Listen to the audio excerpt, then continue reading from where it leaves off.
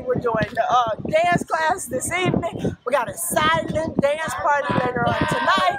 But I'm just saying this to say to you all, don't just let life pass you by. Get out, enjoy it, and have a wonderful day. So from Punta Cana, Ebony Ladies in the DR, every Thursday, 9 p.m. Eastern Standard Time, right here on YouTube. I gotta go dance. Oh, oh na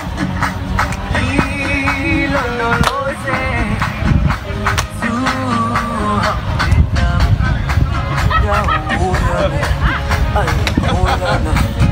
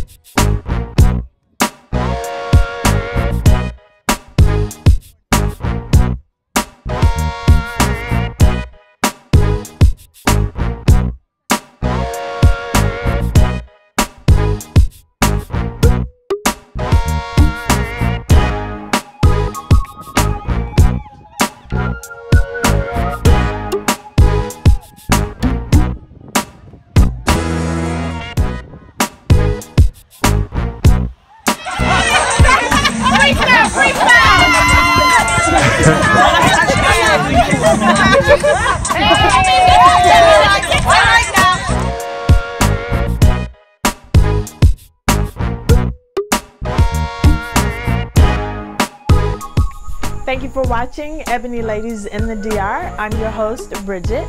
Gracias por ver las damas de Ebonias en el DR. Yo soy True Africiana Bridget.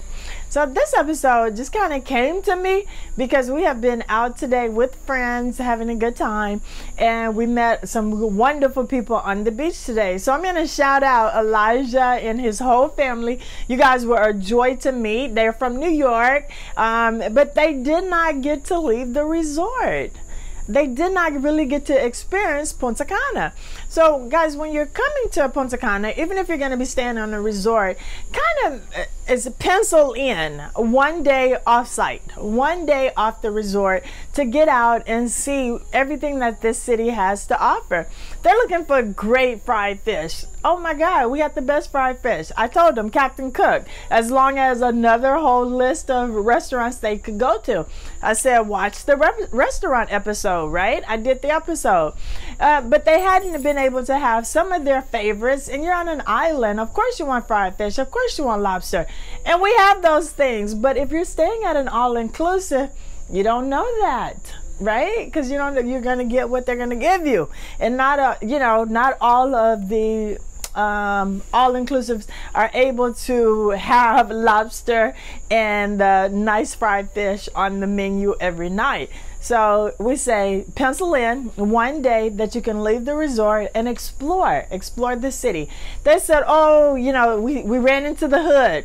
Every city has a hood. Punta Cana has a hood.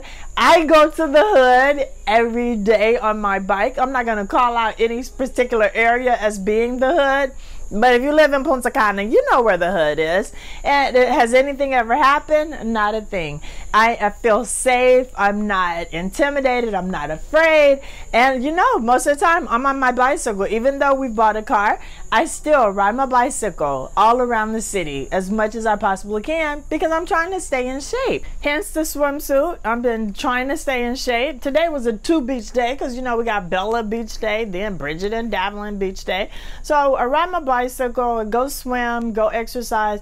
I don't go to the beach to just lay out on the beach. Now some days I do, but most days I go to the beach to dance and to swim, and that's what I did today. So I'm encouraging people. And when we today, our first trip to the beach, we went to Los Corrales because that one is more pet friendly. Um, it's more space than jellyfish. We do like jellyfish, but went to Los Corrales and tourism is back.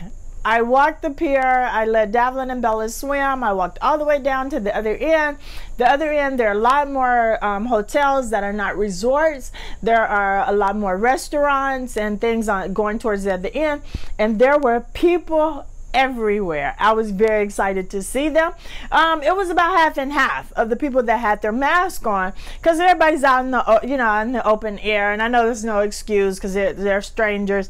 I was on the beach on this end, away from people, and when I did pass them, I kind of put my head down because I can't wear a mask when I'm working out. I don't wear a mask when I swim, of course, but people are still observing you know the mask mandate when they're going into stores and going into different businesses. But tourism is definitely back here in Punta Cana because uh, all of the uh, the restaurants and everything's are starting to open back up. The a lot of the hotels are opening back up. So it was such a good day today. But I, and I was so happy to meet Elijah and his family again. Shout out to Elijah. He turned 16. Wow, what a birthday present! Sweet 16. Your family brings you to the DR, and he had the best crew with him, and we had a joy meeting them. We're just sad it was their last last night here.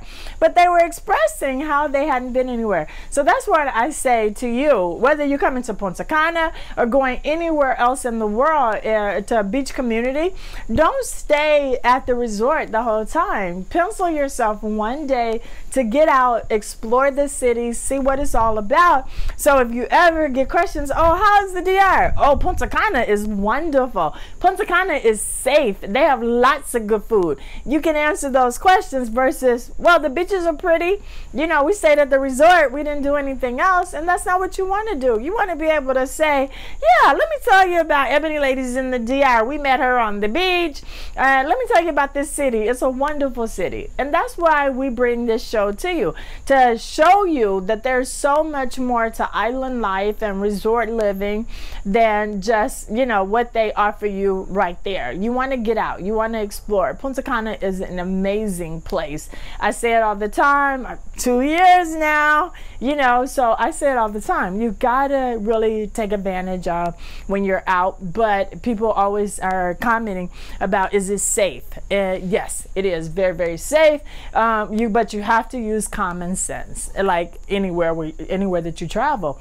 But we are welcome to get tourism going again. I'm so happy to see so many of my Dominican friends back at work and they're happy and they're feeling good and they're, they're it's but it's like their attitude never changed. And that's why I love Punta Cana. That's why I love Dominican Republic.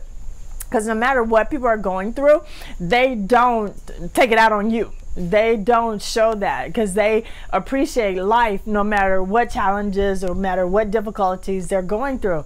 So guys get out travel. It, we're still in a pandemic we realize that but people are getting vaccinated. You can get vaccinated here. So do your protocols do everything so that you can continue to live life. Don't stay at home alone and you know in, in fear living in fear of the pandemic when you don't have to. People are traveling People are, are getting back out. So I encourage everyone to do the same. Punta Cana is safe. Our numbers are drastically going down. I don't have that for you right now. As you see, I've been at the beach all day. And this was an impromptu video, but I had to get it out there. I just want to say, you know, get off the resort so you can enjoy whatever city is you're traveling to.